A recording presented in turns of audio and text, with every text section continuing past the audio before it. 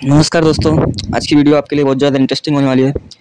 तो वीडियो को अंत तक देखें और वीडियो अच्छी लगे तो एक लाइक कर दें फ्रेंड्स तो दोस्तों, आपने कभी ना कभी ये सोचा होगा कि एयर कंडीशनर यानी एसी से पानी क्यों निकलता है? तो आज इस वीडियो में मैं इसके बारे में बात करने वाला हूँ आपको फुल डिटेल देने वाला हूँ कि एयर कंडीशनर से पानी क्यों निकलता है और इसके पीछे की वजह क्या है।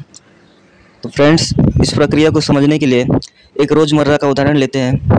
एक गिलास में ठंडा पानी भर कर रख दीजिए और फिर देखिए कि गिलास के ऊपर का पानी की बूंदें जम जाएँगी। और थोड़ी देर बाद गर्म टेम्परेचर के संपर्क में आने के कारण ये बूंदें पानी के रूप में गिलास में नीचे जमा हो जाएँगी। ऐसा ही होता है, जब एसी चलता है, क्योंकि उस समय उसमें उत्पन्न होने वाली गैसें उसमें लगे पाइपों से गुजरती है और उन पाइपों के ऊपर पानी की बूंदें जमा हो जाती है। जब ये बूंदें बाहर के गर्म टेम्परेचर के संपर्क में आती हैं तो पानी में बदल जाती है और ये पानी एसी के बाहर निकलने लगता है फ्रेंड्स तो फ्रेंड्स ये थे इसके पीछे की बड़ी वजह। उम्मीद करता हूँ आपको वीडियो अच्छी लगी होगी।